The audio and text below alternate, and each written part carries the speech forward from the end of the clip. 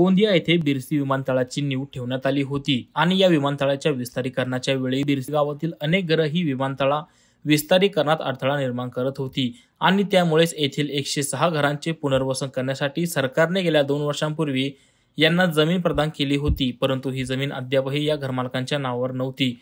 आज या जमिनीची रजिस्ट्री करून येथील परिवारांना सातबाराचे वाटप गोंदियाच्या उपविभागीय अधिकारी पर्वणी पाटील यांच्या हस्ते करण्यात आले. त्यामुळे त्यांच्या चेहऱ्यावर आनंद दिसून आला.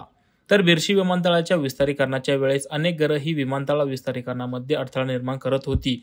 त्यामुळे बिरशी या गावातील एकशे सहा घरं ही विमान प्राधिकरणाद्वारे रिकामी करण्यात आली होती. मात्र यांना पुनर्वसन करण्यासाठी जमिनीसाठी संघर्ष करावा लागला. दोन वर्षांपूर्वी यांना मोठ्या संघर्षानंतर जमिनी देण्यात आल्या. मात्र अद्यापही त्या जमिनी एकशे सहा कुटुंबाच्या नावावर नव्हत्या.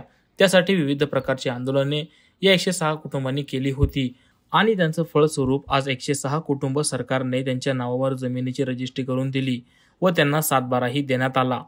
त्यामुळे तेथील नागरिकांना गेल्या अनेक वर्षांचा संघर्ष आज पूर्णत्वास आला असून आज त्यांना हक्काची त्यांच्या नावाच्या सातबारा गोंदियाची उपविभागीय अधिकारी परवणी पाटील यांच्या हस्ते देण्यात आले. त्यामुळे एकशे सहा परिवारांच्या चेहऱ्यावर आनंद दिसून आले.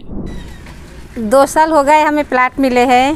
तो घर भी बन गए हैं और अभी रजिस्ट्री सात बारह कागज़ भी मिल गए पटवारी मैडम ने दिए। ये जगह हमारे खुद के नाम पे हो गए।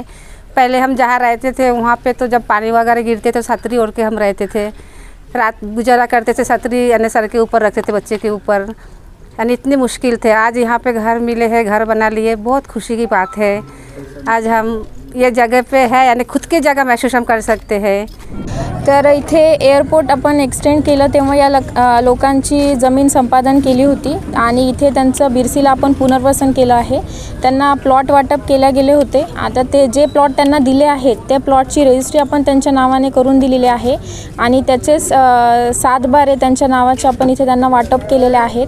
टोटल इथे एकशे सहा कुटुंब होते ज्यांचं आपण इथे पुनर्वसन केलेलं आहे. ऑलमोस्ट सगळ्यांचीच रजिस्ट्री झालेली आहे. फक्त ते इथे काही लोकांना सातबारा वाटप केलेले आहे. सगळ्यांचे सातबारा रेडी आहेत.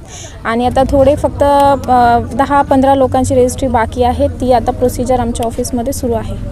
देखिए, जिस हिसाब से पुनर्वसन होना चाहिए था, उस हिसाब से उसकी पहली कड़ी बोले तो प्लाट जिसकी आज सात बारह वितरण किया गया।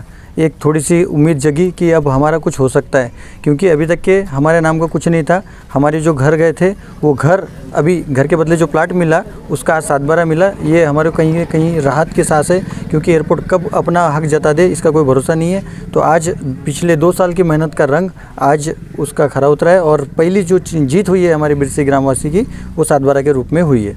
सात न्यूज़ रिपोर्टर चेतन समरीत आज चोवीस तास गोंदिया। नवनवीन